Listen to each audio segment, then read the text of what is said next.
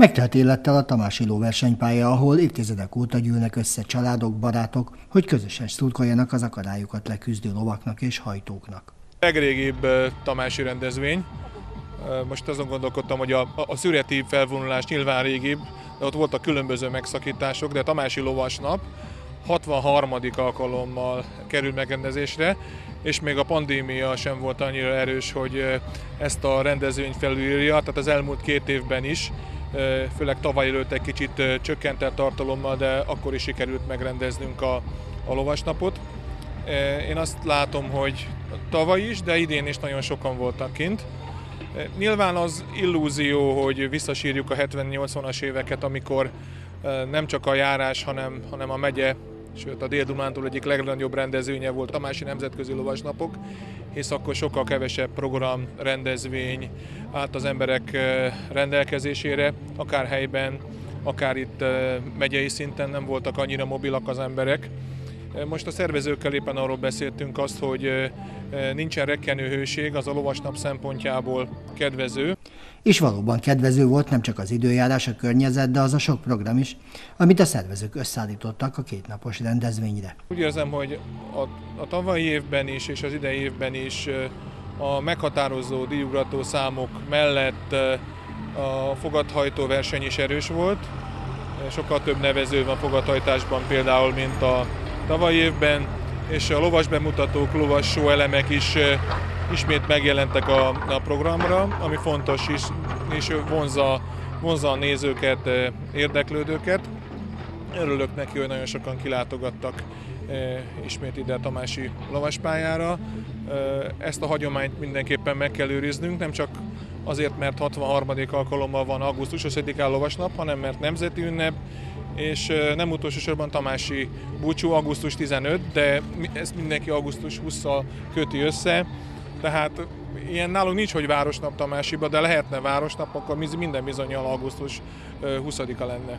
Kaposvári Horseman Lovasport Egyesület bírli a báját, már egy évtizede. A működését a, a pályaüzemeltetésre vonatkozó szerződésüket meghosszabbítottuk.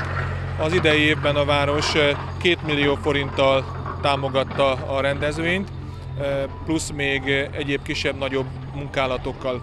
Egy rendezvény kapcsán sok minden befolyásolható szervezéssel, csupán egy dolog nem, az időjárás, ami ezúttal támogatólag állt a 63. Tamási lovasnapok mögé. Hát nagyjából azt mondhatom, hogy a szokásos szállítás volt, hiszen két szakágra épült a, a versenynap, vagy a verseny hétvége, diugrató és fogadhajtó versenyek voltak, a délelőtt a diugratóké volt, a délután, illetve az első program pedig a fogadhajtóké. Diugratásba a két nap alatt 207 startot regisztráltunk, fogadhajtásba pedig a, azt tudom mondani, hogy a tegnapi napon lezárult a akadályhajtásba 15 fogad versenyzett, a mai nap folyamán egy kombinált akadályhajtás lesz, erre 22 jelezték részvételüket, de még ez a versenyszám hátra, úgyhogy nem tudjuk, hogy valójában mennyien érkeznek meg. Sajnos ezt elmondhatom, hogy Tolna megyében nagyon gyenge a, a lovasport, már ami a diugratást illeti. Fogadhajtók elég szép számmal vannak, de diugratok nagyon kevesen. Hát ennek ellenére Tamási érdekeltséggel, annak ellenére, hogy egy szexár melletti egyesületben vannak igazolva a Völgységi Lovasklubba, innen négy fiatal is versenyzett, illetve a közeli Simon tornyáról. volt még három lovas. Rengeteg verseny van mindegyik szakákban, éppen a hétvégén egy Európa-bajnokság is zajlik fogadhajtásba a Fehér megyei Kisbéren, Póni kategóriába, fiatal hajtók részére van kiírva a verseny.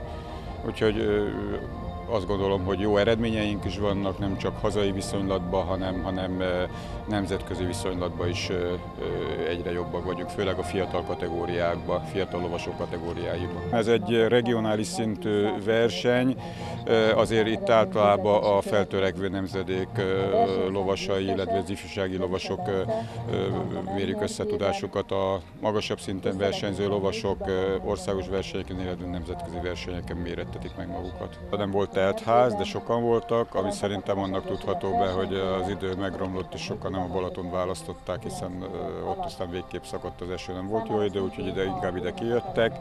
Hát a mai nap ez soha nem, tehát a második nap az soha nem szokott olyan erős lenni a kilátogató nézők szempontjából. Összességében a, a két nap alatt olyan 1 millió forint körül volt a pénzdíj, amit, amit kiosztottunk. Tehát nem egy magasan díjazott verseny, ami betudható annak, hogy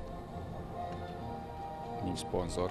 A lelátón és a fák árnyékában helyet foglalók között sokan voltak, akik ki nem hagynák a nagymúltú Tamási rendezvényt. Én a kezdetek fogva ilyen kis gyerekkoromtól járok ide a lovas versenyekre, úgyhogy szinte évről évre. És hát szerintem ló szeretett. Én még arra az időkre emlékszem szívesen, amikor ugye az egész pályán működött ez, és két-három napig 30-40 lovassal indultak számonként. Az egész megyében majdnem, hogy körbejárjunk, majdnem minden versenyen ott vagyunk. Szépen megszervezik minden évben, amikor meg lehet, amikor a vírus ugye meg ilyenek nem játszanak közben időjárás. Szerencsére idén is sikerült ezt megszervezni, baleset ne történjen, és mindenkinek jó szórakozást. A Tamási lovaspálya nem csak a nagy hagyományú lovasnap alkalmából várja az érdeklődőket, ami idén már az ötödik volt a versenyek sorában, legközelebb majd szeptember első hétvégéjén újra használatban lesznek az ugróakadályok.